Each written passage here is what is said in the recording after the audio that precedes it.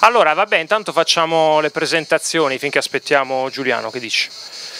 Vabbè, io sono Marco Veronese Passarella, sono eh, professore di politica economica presso l'Università dell'Aquila e l'Università di Leeds e sono un economista marxista, eh, anche se non so bene cosa significhi, nel, resto, nel senso che nei dipartimenti di economia non è che ci si possa occupare molto di Marx, quindi è più una cosa che faccio a margine del mio lavoro che a tempo pieno. Passo la parola... No, no, no. Dai, parti... Vado io diretto? Allora, vabbè, eh, Giuliano ci aveva chiesto di preparare, diciamo, delle tesi molto brevi che potessero essere esposte circa in un quarto d'ora e che fossero sufficientemente controverse da generare un minimo di discussione, ok? Quindi noi non faremmo eh, interventi molto lunghi, eh, faremo solo alcune considerazioni, poi su quelle daremo la parola a voi, questa era un po' l'idea.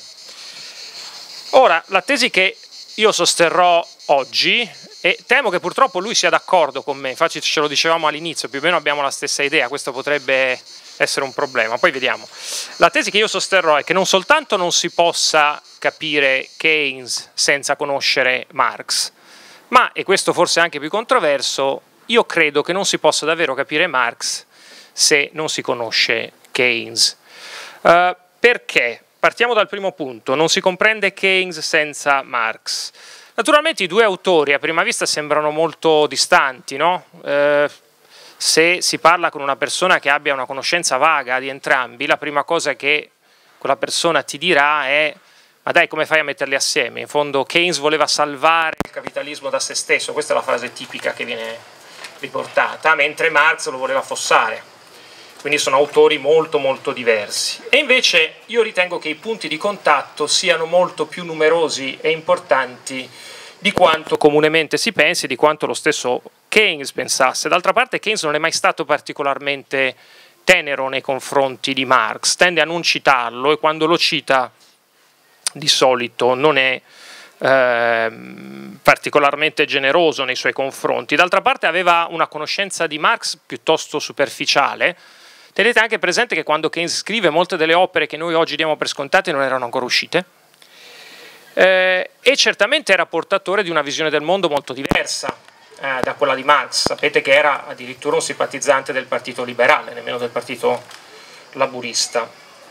Eppure, come peraltro Vadim in una, in una bella intervista che ha rilasciato qualche tempo fa eh, sottolinea, se voi vi andate a guardare le note eh, preparatorie per la stesura definitiva della teoria generale, c'è una parte che poi non verrà inclusa nella teoria generale pubblicata da Keynes nel 1936, in in cui Keynes cita proprio Marx, riconoscendo a Marx di essere uno dei pochissimi economisti ad aver colto la natura profonda del capitalismo, ossia come economia di M di primo, cioè un'economia in cui eh, il sistema è volto alla produzione di più moneta a mezzo di moneta per parafrasare uh, Sraff, ossia un'economia in cui le imprese capitalistiche per avviare il processo di produzione di scambio devono anzitutto procurarsi un ammontare un finanziamento, un capitale finanziario con il quale acquistano l'unica merce esterna al proprio settore che è la forza lavoro. Questa cosa che Keynes riconosce a Marx è molto importante perché dice che al fondo dal punto di vista della teoria positiva, cioè dal punto di vista in cui guardano al mondo così com'è, non al, dal punto di vista in cui guardano il mondo per come lo vorrebbero cambiare, sia Marx che Keynes hanno una, vis- una visione piuttosto simile e in antitesi rispetto a quella allora e oggi dominante. D'altra parte, molti degli elementi che voi ritroverete nell'analisi di Keynes e che ancora oggi in parte si studiano nei corsi di macroeconomia, che pure tendono un po' a sparire, soprattutto nelle facoltà di economia americane, ormai gli studenti del triennio non si insegna più la macroeconomia. Perché è ritenuta una, una non scienza anche pericolosa, ma alcune di quelle categorie utilizzate da, da, Keynes erano già state ampiamente anticipate da Marx, penso al moltiplicatore eh, della spesa, penso al ruolo della moneta come grandezza endogena, eh, penso al ruolo delle aspettative di profitto come uno dei fattori trainanti per le decisioni di investimento, poi c'è la teoria della preferenza per la liquidità, che di nuovo mica l'ha inventata Keynes, già in Thornton, che è un autore dell'Ottocento, ricordiamo dell'Ottocento, e Keynes nei Grundrisse lo cita, riportando più o meno fedelmente Thornton che spiega che appunto nei periodi di crisi gli agenti economici tendono ad accumulare eh, scorte liquide. E poi anche la teoria della crisi, spesso si dice che sono due teorie della crisi molto diverse, no? Eh, Keynes vede, rinviene nella insufficienza della domanda, soprattutto delle componenti autonome della domanda aggregata, il eh, fattore principale di crisi. Beh, ma guardate che Marx quando parla di crisi di realizzo o persino di sovrapproduzione, in fondo sta semplicemente vedendo lo stesso problema da un diverso punto di vista. Certo Marx ha anche altre teorie della crisi, non ha solo una teoria della crisi da realizzo, ma di nuovo anche qui non c'è un, eh, non solo non c'è un conflitto, ma c'è un'anticipazione di alcune delle riflessioni di Keynes. E poi c'è un altro punto che rende Keynes molto sospetto. È vero che Keynes era un liberale, amava vivere da liberale e anche, diciamo, eh, piuttosto libertario e libertino nei, nei costumi, però amava circondarsi di marxisti. È Keynes che porta a Cambridge Piero Sraffa, che non soltanto era un grande economista, amico di Gramsci, membro del Partito Comunista, ma anche verosimilmente era una spia sovietica. E a proposito di spie sovietiche, anche l'altro grande diciamo, studioso di Cambridge, lo studente preferito di Keynes era Maurice Dobb, altro marxista, altro, sì, altra verosimilmente, altra spia, altra spia sovietica. Non stiamo facendo dietrologie, eh, sono cose tutto sommato oggi abbastanza note, su Sraffa vi potrei addirittura raccontare degli episodi. E la stessa John Robinson che frequentava il circolo di Keynes e che inizialmente aveva un atteggiamento abbastanza sprezzante nei confronti di Marx, chiuderà la sua carriera accademica da marxista anche piuttosto ortodossa, cosa che le varrà assieme all'appoggio alla, mi pare, non si ricorda, no, al Vietnam del Nord, le varrà il mancato premio Nobel che le era già stato assegnato e verrà ritirato in una notte in fretta e furia. Um, Veniamo però al secondo punto, quindi insomma in Keynes ci sono elementi marxiani, che Keynes ne sia consapevole o no ci sono perché conoscere Keynes fino in fondo è a mio avviso necessario conoscerli, ma perché invece dovrebbe essere necessario conoscere Keynes per conoscere Marx? Beh, eh, anzitutto se c'è qualche studioso di eh, filosofia, spero di no, eh, ditemelo subito che non dico questa cosa. No, vabbè, se voi vi prendete l'introduzione, l'Einleitung, eh, gli studiosi di filosofia di solito dicono queste cose in tedesco, io sono di economia quindi di solito uso l'inglese, ma dai, eh, che è l'introduzione che Marx scrive nel 57, eh, avrebbe dovuto essere l'introduzione per la critica dell'economia politica, poi pubblicata nel 59, Marx decide che non ne vale la pena, nel senso che non serve, e quindi diciamo, questo scritto verrà pubblicato come un inedito eh, tempo dopo, ma in quella introduzione Marx chiarisce a proposito delle forme eh, di organizzazione sociale che è dalla fisiologia eh, dell'uomo che deriviamo quella della scimmia e non viceversa, cioè dice è dalle forme più avanzate che noi deriviamo una comprensione più profonda delle forme meno avanzate. In questo senso eh, io credo che le categorie di Marx possano anche essere applicate a Keynes, e cioè che si possa con Marx fare la stessa operazione che Marx fece a suo tempo con gli economisti politici classici. Notate bene che quando Marx si decide, diciamo, nel, nel corso degli anni 50 di, di, abbandonare la rivoluzione, perché in quel momento non sta avendo uno sbocco, e di dedicarsi anima e corpo allo studio dell'economia politica eh, nel British Museum, quando decide di fare questo, i principali riferimenti di Marx sono gli economisti politici classici borghesi, non sono gli economisti socialisti dell'epoca. Certo, Marx eh, dire, ha parole di fuoco nei confronti degli eh, economisti volgari dell'epoca, cioè di quegli economisti che invece che produrre scienza producono ideologia, ma nonostante questo mantiene fermo il riferimento all'economia politica classica e la stessa definizione di economisti classici di Marx. È una definizione con la quale Marx sta tributando eh, una sorta di riconoscimento da allievo di questi economisti. Certo Marx cercherà di andare oltre questi economisti, ma riconosce che eh, quelle categorie che lui svilupperà in nuce sono già presenti negli economisti politici classici. Ecco perché secondo me è necessario e doveroso per capire Marx studiare gli autori che sono seguiti a Marx, eh, certamente Keynes e Schumpeter tra, tra, tutti, ma anche gli allievi di Keynes e di Schumpeter. Uh, ultimo punto, dai, che poi, poi così mi fermo. Fin qui in merito alla teoria positiva, cioè al modo in cui Marx e Keynes guardano al mondo per com'è. Ora vi dico, faccio una parentesi, una cosa che dico sempre. Ci sono nei tempi o sto andando troppo lungo? No, no, no. Eh. Eh, la dico sempre sta cosa, è un po' un disco rotto, però per me è importante proprio da un punto di vista marxiano. Quando io distingo tra teoria positiva e normativa, cioè tra come guardiamo al mondo per come è e come vorremmo cambiarlo, naturalmente lascio intendere che dall'analisi positiva della realtà ne discendano implicazioni in termini normativi. No? Analizziamo la realtà per come è, il capitalismo, le sue leggi, il capitalismo non ci piace e quindi decidiamo di cambiarlo. Ovviamente non è mai così, e materialisticamente non è mai così, è piuttosto la nostra volontà di cambiare il mondo che determina il, mondo, il modo in cui lo, lo, leggiamo, il mondo lo interpretiamo, se siamo davvero marxisti. Quindi non credo davvero in questa distinzione, non credo davvero nel nesso causale che va da analisi positiva a proposte normative. Ma per semplicità può comunque essere utile distinguere i due piani e indubbiamente sul piano della teoria normativa le eh, visioni di Marx e di Keynes sembrano effettivamente inconciliabili. Anche qui però non andrebbe mai dimenticato che il capitalismo osservato da Marx è molto diverso da quello odierno. Vi faccio un esempio, lo scetticismo con cui Marx guarda allo Stato era un tratto diffuso eh, degli intellettuali progressisti vissuti a cavallo tra la metà del Settecento e la metà dell'Ottocento, perché ancora a fine dell'Ottocento, scusate, fine Settecento, primi dell'Ottocento, lo Stato era il eh, era il monarca.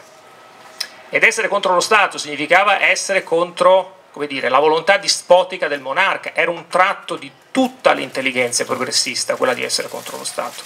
Lo stesso Marx, che pure vede un cambio di regime, no? Marx vede l'ascesa eh, della borghesia industriale che prende le redini in Francia e eh, Regno Unito nel corso degli anni 30 dell'Ottocento e tuttavia quello Stato che Marx sta guardando è davvero poco più o forse poco meno che un comitato d'affari della borghesia. Quello che osserverà Keynes è un capitalismo già diverso rispetto a quello di Marx e in ogni caso anche Keynes nasce liberista e si converte all'intervento del pubblico solo in seguito fino a sostenere la necessità di socializzare gli investimenti, di socializzare il credito, che fuori di metafora vuol dire nazionalizzare le banche e nazionalizzare buona parte dei settori chiave eh, dell'economia, che tra l'altro sono le misure 5 o 6 che trovate nel manifesto del Partito Comunista di Marx ed Engels, sono identiche, ai punti 5 o 6 trovate esattamente i due punti enunciati da Keynes al termine della teoria generale. E la ragione per cui Keynes si scaglia o meglio, si scaglia contro le politiche liberiste e quindi cambia idea rispetto al modo migliore di eh, intervenire, che prima era non intervenire semplicemente, è perché si rende conto che il capitalismo non regolato non soltanto produce instabilità economica, ma produce mostri politici. Keynes osserva l'ascesa del fascismo e del nazismo in Italia e in Francia e su questo punto almeno ogni marxista dovrebbe riconoscere a Keynes eh, diciamo così, di averci visto giusto. Ecco perché secondo me è importante studiare Keynes anche per capire Marx. Grazie.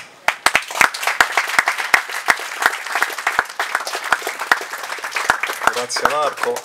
Allora, Marco già mi ha eh, diciamo, tolto una gran fetta, ha detto benissimo delle cose che avrei voluto dire, per cui non mi sovrappongo e vorrei diciamo, lanciare più che altro una, una suggestione, in che senso? Eh, parlare di Marx e Keynes è sicuramente eh, difficile, ci sono delle difficoltà specifiche, non solo perché sono dei eh, mostri sacri del pensiero, ma perché hanno avuto, perché il pensiero ha avuto degli effetti nella storia che sono stati assolutamente notevoli e tutti noi abbiamo in qualche modo collegati a, a, a ognuno dei due un sistema di credenze che vanno dal piano non solo teorico-economico ma anche politico, che eh, diciamo, forniscono un quadro interpretativo di fondo molto, molto forte, cioè se io adesso mi mettessi in qualche modo a fare eh, una comparazione a livello teorico,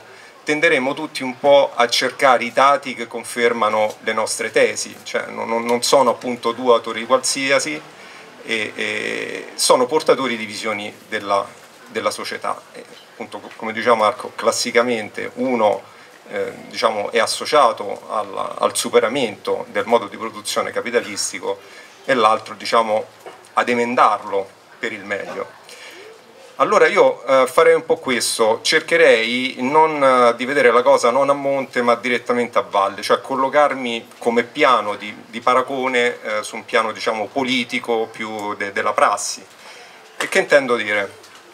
Allora c'è Marx che nella uh, seconda edizione del, del, Capitale, nel poscritto, eh, enuncia un concetto molto chiaro e dice l'economia politica, in quanto scienza borghese, vede il modo di produzione capitalistico non eh, come storicamente determinato e in qualche modo come un momento di passaggio in un processo di più vasta portata, quindi non lo vede dialetticamente, ma appunto lo vede come una forma assoluta, già definita, della produzione sociale.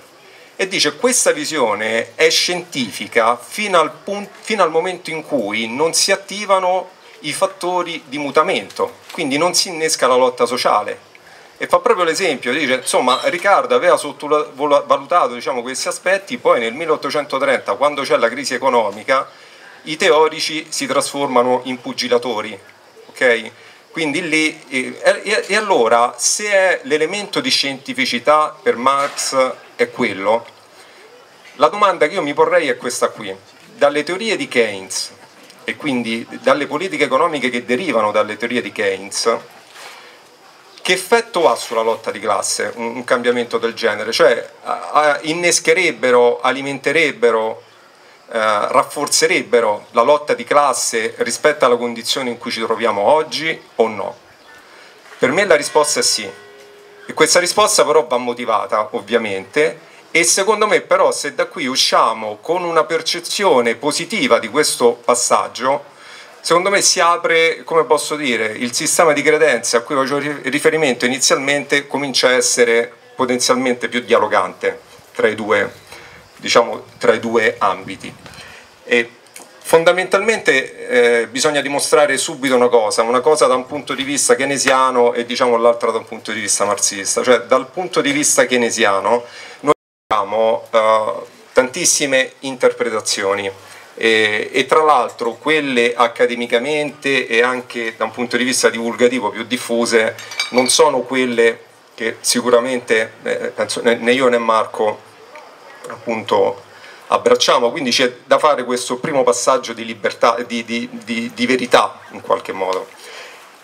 E una volta fatto questo, poi si potrà passare dal punto di vista marxista, cioè per Keynes fondamentalmente noi abbiamo tante teorie chiamate anche nuovo keynesiane, comunque sono le, le, le, derivazioni, insomma ci sono infiniti modi anche di sottilizzare sulle sfumature, però c'è tutta eh, diciamo una, una messe di economisti che in qualche modo ha, um, ha fatto in modo da come posso dire, addomesticare, addomesticare Keynes, far rientrare le innovazioni teoriche più importanti nell'alveo diciamo, delle, eh, della teoria economica dominante e fondamentalmente il, il, massimo che si concede, cioè tu sei keynesiano perché? Perché pensi che quando si creano eh, una sorta di stabilità nel ciclo economico l'intervento della politica monetaria deve andare fondamentalmente a ripristinare il, il ciclo economico.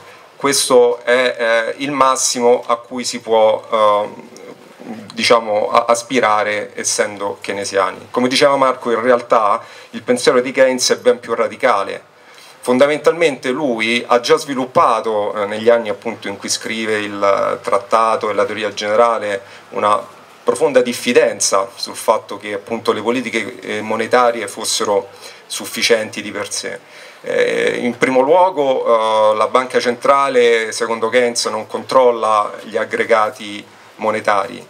E, e ancora di più ehm, cioè noi, queste politiche monetarie dovrebbero essere tali da riuscire a mantenere un livello di investimenti tale da riuscire ad avere un livello di crescita soddisfacente e quindi di occupazione eccetera non controllando appunto gli aggregati monetari da un lato e potendo agire solo sui tassi di interesse, lui evidenzia un altro passaggio critico, la relazione molto fragile che c'è tra i tassi di interesse e gli investimenti, ossia la capacità dei tassi di interesse di stimolare gli investimenti. E è per quello che arriva a dire, eh, proprio nell'ultimo capitolo della, della teoria generale eh, che in qualche modo prospetta, è, è, un, è, un, capitolo di filosofia sociale in cui lui prospetta la società che avremmo se eh, fosse vero, se venisse attuato tutto quello che ha scritto prima.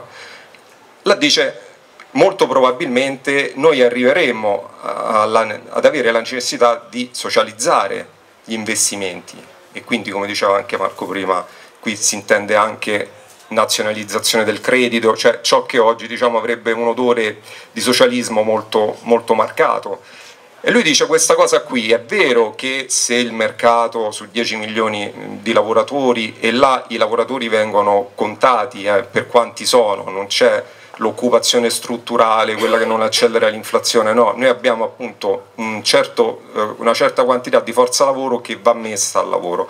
Se il mercato non... Um, è inefficiente e quindi fallisce nella, nella piena occupazione, come appunto lui scrive, e di quei 10 ad esempio io ne ho due che sono disoccupati, lo Stato non interverrà, è vero, sugli 8, quindi là già occupati. Un marxista potrebbe dire eh, ma già là c'è un livello di sfruttamento, eccetera. Ovviamente non stiamo in queste categorie, però una volta che io intervengo su quei due e occupo questi due, L'anno successivo, se ne ho altro mezzo milione, farò lo stesso, l'anno successivo ancora, in progressione io arriverò ad un punto tale che gran parte dell'economia avrà, uh, degli investimenti saranno socializzati e nel e anche da un punto di vista filosofico lui eh, prepara diciamo, queste conclusioni economiche perché nella, nella fine dell'ASFR del, del 26 lui già va a chiarire innanzitutto che eh, non sta scritto da nessuna parte che se qualcuno persegue il proprio interesse egoistico poi da lì si determinerà il, il bene generale. Dice, ma a parte questo dice esistono dei servizi che sono tecnicamente sociali e dei servizi appunto che sono tecnicamente individuali e per servizi tecnicamente sociali si intende prevalentemente degli investimenti che hanno, non che non sono redditizi, ma che hanno una eh, redditività differita nel tempo, per cui se io devo immaginare di investire prima ho assistito al panel della scuola, no? di investire nella scuola, io devo avere un orizzonte che deve essere di andare appunto dalle elementari, medie, università fino ad arrivare appunto al dottorato, così lungo che nessun privato ha un interesse, non vede nessun privato un orizzonte di profitto soddisfacente a fronte dei propri investimenti e quindi dice ci sono degli elementi che sono costituzionalmente eh, pertinenti all'intervento pubblico, all'intervento dello Stato. Per cui noi immaginiamo questo e, e, vengo un po' alla domanda che avevo fatto, se queste politiche economiche, lui nella teoria generale dice fondamentalmente i problemi sono due, eh, diciamo la, bisogna raggiungere la piena occupazione e ridurre la disuguaglianza, la distribuzione iniqua ed arbitraria delle ricchezze, per cui se le politiche economiche coerentemente con gli intenti della teoria generale vanno ad agire su questi due punti, la domanda che faccio, avere una classe di lavoratori che si trova in condizioni di piena occupazione e in condizioni anche di salari degni perché c'è la lotta appunto alle disuguaglianze, altrimenti entreremmo in una contraddizione.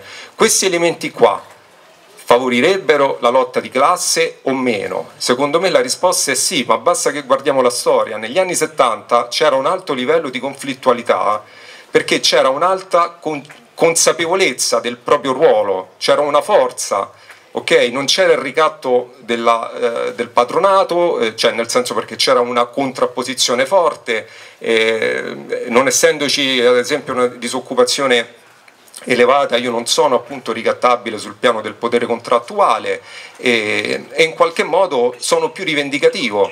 E quindi questo elemento qua poi, anche se progressivamente, porterebbe ad un cambiamento sempre all'interno del modo di produzione capitalistico, però sicuramente più avanzato, innescherebbe appunto quelle forze sociali che noi troviamo ad esempio nel, anche nella nostra Costituzione, che ha un impianto eh, diciamo, eh, economico affine alla teoria keynesiana, il conflitto sociale viene istituzionalizzato, ok?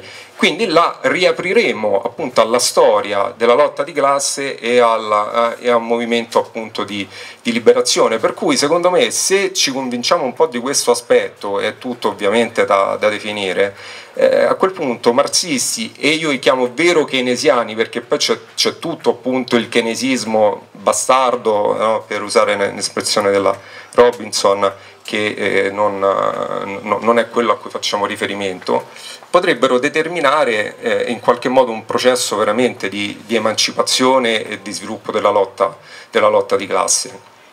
L'ho fatto, grazie.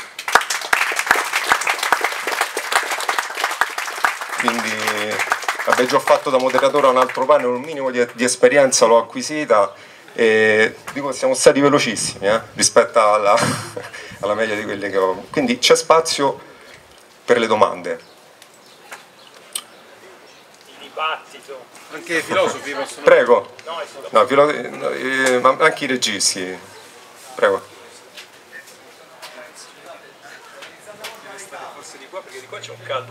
No, no, no, no, dall'altra parte, dall'altra parte. Eh sì.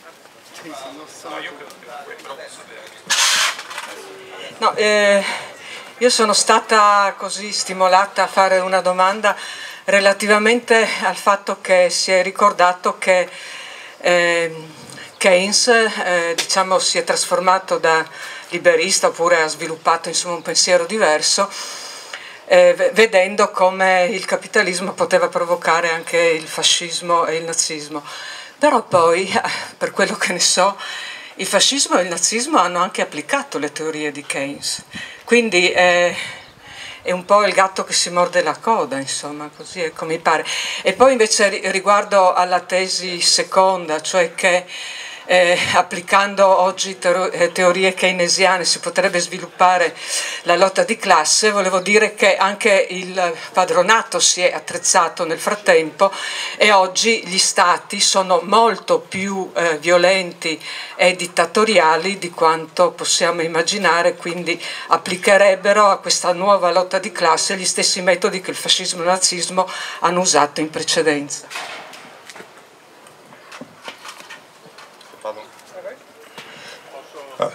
Sì, prego, sì, le raccogliamo, va bene. Allora, proprio partendo... Microfono.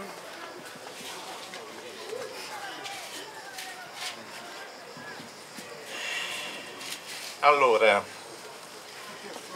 ditemi voi se questa cosa di Marx è conciliabile con Keynes e le sue teorie monetarie. Salario, prezzo e profitto. La classe operaia deve comprendere che il sistema attuale, con tutte le miserie che accumula su di essa, genera nello stesso tempo le condizioni materiali e le forme sociali necessarie per una ricostruzione economica della società. Invece della parola d'ordine, conservatrice, un equo salario per un'equa giornata di lavoro, gli operai devono scrivere sulla loro bandiera il motto rivoluzionario soppressione del sistema del lavoro salariato. Allora, sopprimere il lavoro salariato significa eliminare contemporaneamente la circolazione monetaria. Quindi Keynes, rispetto al pensiero di Marx, è un reazionario e di fatti è stato usato in Germania e in Italia perché le sue teorie costruiscono il capitalismo di Stato, che non ha niente a che vedere con il socialismo e la socializzazione dei mezzi di produzione. Quindi venire a contrabbandare Keynes come un uomo che ci ha fatto eh, cioè, cioè, che ci ha aiutato nella comprensione del sistema, Keynes ha elaborato da buon lord inglese quelle teorie, quelle prassi che sono servite a ingabbiare il proletariato, da, eliminando, e l'hanno fatto tutte le formazioni politiche che si definivano di sinistra, questo elemento che Marx aveva messo nel capitale, che è fondamentale, perché se non capiamo qual è la portata vera del meccanismo sociale ed economico che Marx ha detto, che stanno in queste brevi parole, l'eliminazione della circolazione monetaria e del lavoro salariato, ovvero la costruzione dell'ora di lavoro come parametro universale per avere beni e servizi e creare quindi le condizioni della reale eguaglianza tra gli uomini, perché la mia ora di lavoro vale quanto quella di qualsiasi cittadino del mondo, cosa che oggi non è praticabile, non è praticabile con le teorie keynesiane, perché appunto sono teorie reazionarie.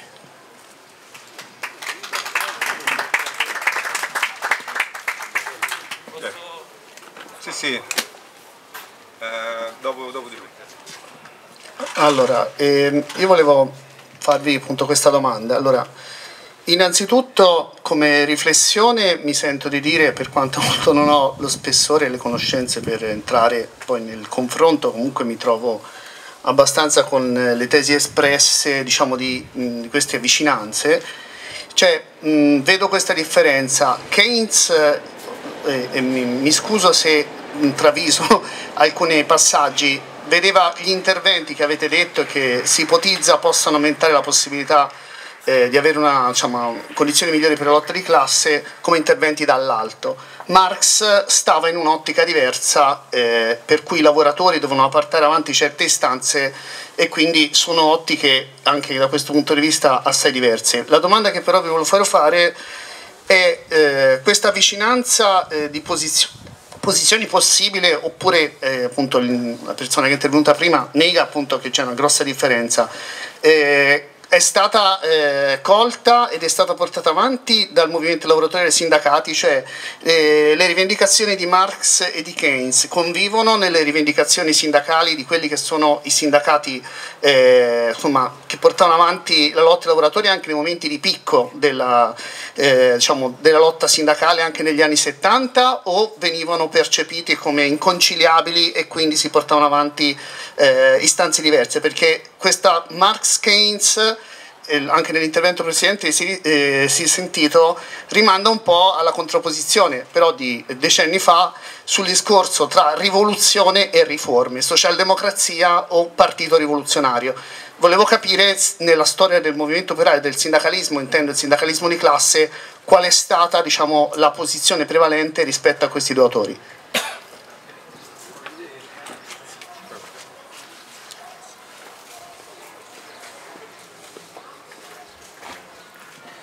Buongiorno, una domanda brevissima. Volevo sapere se secondo voi nel, il Partito Comunista Cinese ha reinterpretato, queste, ha reinterpretato anche Keynes. Volevo sapere vostro, la vostra opinione al riguardo.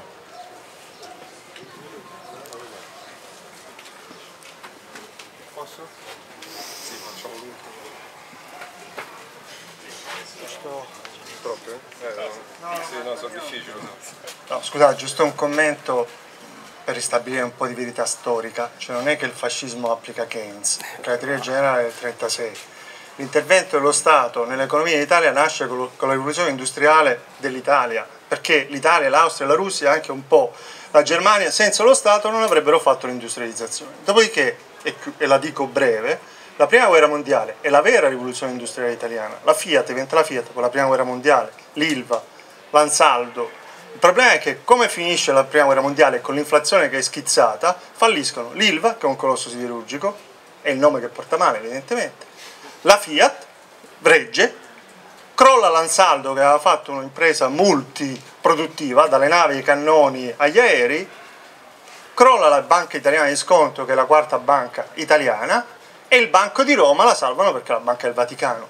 Lì si inventano la sezione speciale della sezione speciale autonoma, autonoma è la parola chiave, del Consorzio Sovvenzione Valori Industriali, che gestisce questi brandelli e li rimette piano piano a posto. Poi nel 26 diventa istituto liquidazioni e via via, quando poi arriviamo alla crisi del 29 che in Italia inizia nel 30, 30-31 è l'anno drammatico per l'Europa, e ho finito, lì lo studio è faccio l'IMI e non mi funziona, l'Istituto Mobiliare Italiano, una banca, e serve per risanare che è già sano e allora l'idea è di creare l'IRI con le due sezioni, quella smobilizzi, levo perché c'era questo legame, il catoplebismo, come, dice, come diceva giustamente l'amministratore delegato della commerciale, cioè un legame intimo tra banche e imprese, le banche erano diventate proprietarie delle imprese e nazionista le banche perché ho bisogno di avere le azioni per riparare le imprese, ma non l'impresa singola, settore per settore, da quella alimentare a quella a quella siderurgica che è fondamentale e anche un riordino caratteristiche. Scusate. Grazie, no, no, bene.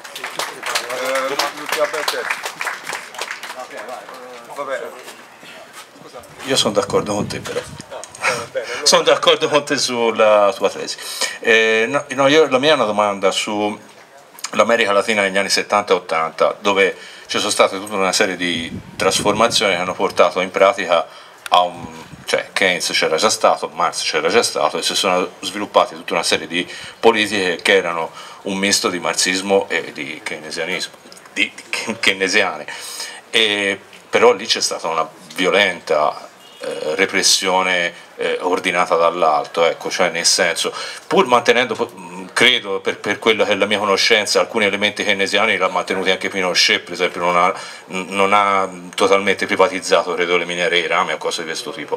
Però in un certo senso lì c'è, c'è stato un laboratorio in quegli anni in America Latina dove quest, questa convergenza in qualche modo è stata sperimentata o, o è cioè, un'opinione solo mia Una differenza fondamentale a mio giudizio, la disoccupazione. Per Keynes è un problema di, diciamo, di funzionamento del sistema imperfezione che si può curare con le politiche economiche. Per Marx è l'esercito industriale di riserva, è un, è un elemento chiave del, del, del sistema, quindi volevo sapere su questo aspetto che ne pensate.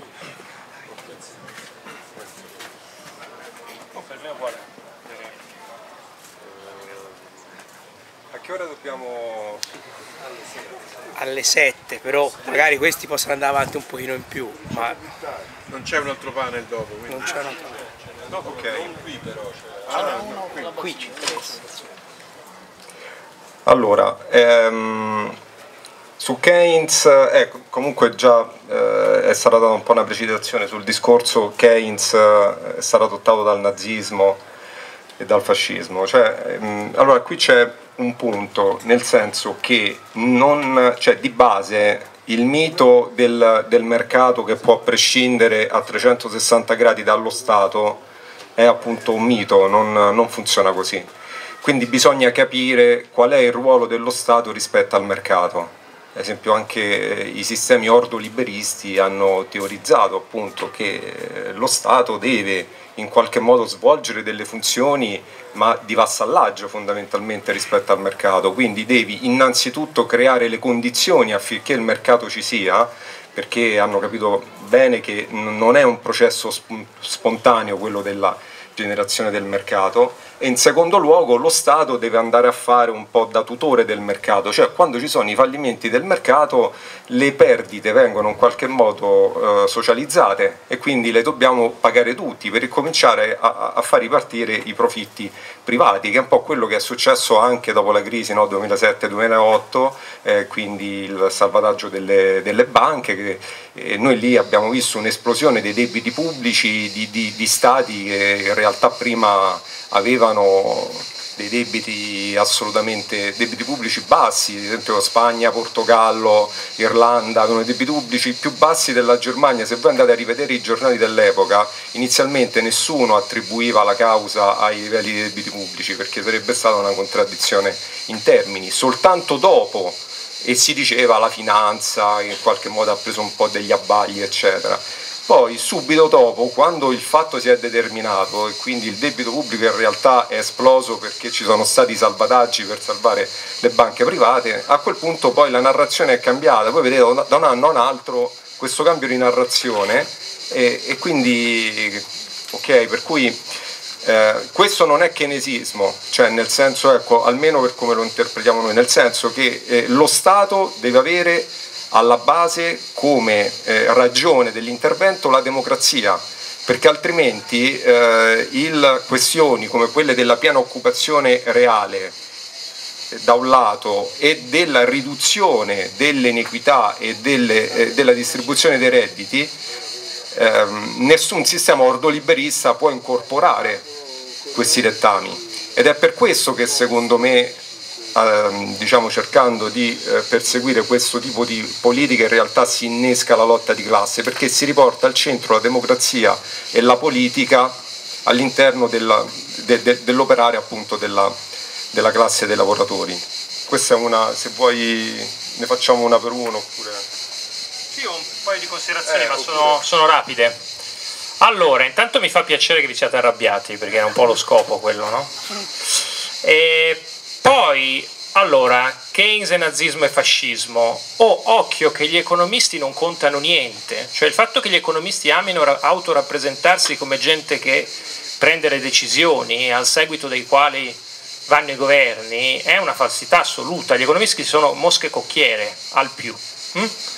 e al più danno dignità scientifica ex post a ciò che i governi, gli stati, le società fanno da tempo ex ante. È chiaro? Quindi Keynes non sono le politiche keynesiane, le politiche keynesiane nascono molto prima di Keynes. Prima cosa. Seconda cosa, i fascismi e i nazismi, questo è un punto fondamentale, nascono liberisti nascono liberisti, non nascono con l'idea di utilizzare un intervento forte dello Stato in economia, si convertono nel corso degli anni 30, infatti sono solo quelli degli anni 30, poi Pinochet in realtà piuttosto liberista lo è, gioco forza perché arriva la crisi del 29, la depressione degli anni 30, i fallimenti a catena di cui si parlava, per cui il nostro buon Benito Mussolini chiama Beneduce, che peraltro era un socialista della prima ora, e di lì parte l'esperienza diciamo, dell'intervento dello Stato in economia per il regime fascista italiano, discorso analogo anche se non identico per, per, i nazisti, cioè gioco forza devono farlo, un po' come l'Unione Europea gioco forza ha dovuto come dire, erogare dei finanziamenti anche se non proprio a fondo perduto nel corso della pandemia. Interessante il tema della reazione della classe padronale, certo, eh, questo tema eh, è un tema evocato da un altro economista Marx keynesiano, tale Kaleski, polacco, eh, che scrive testualmente che il vero limite delle politiche keynesiane, ce ne sono molti, eh, poi vi spiegherò che io non è che sono keynesiano, eh, ma il vero limite, a suo dire, delle politiche keynesiane è il fatto che le politiche keynesiane, creando esattamente quelle condizioni di pieno impiego, di forza, di potere contrattuale dei lavoratori di cui parlava Vadim, eh, finiscono per creare problemi di stabilità sociale, ai quali la classe imprenditoriale, la classe capitalista in particolare, è molto più sensibile eh, di quanto non lo sia al ciclo economico. E quindi Kaleschi diceva guardate che prima o poi queste politiche sbatteranno contro il muro degli interessi padronali, che si renderanno conto che avere una classe operaia concentrata, forte, ehm, e rivendicativa è un problema serio e noi nel nostro paese lo abbiamo visto il passaggio da una, da una fase all'altra.